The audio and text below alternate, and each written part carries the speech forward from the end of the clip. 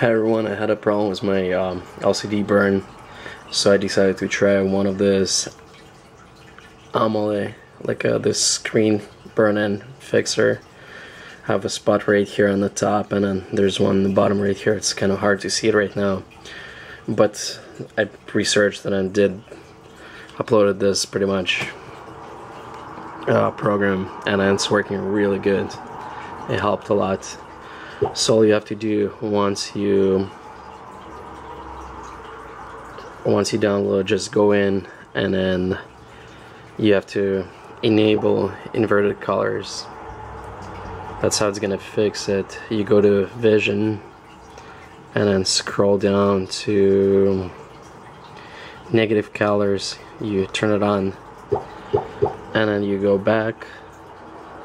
And then um, as you can see you can check right here. Um, I, I, I have right here in this spot as you can see probably. It's kind of hard to see on the video. But so you just leave it on this screen for a while pretty much.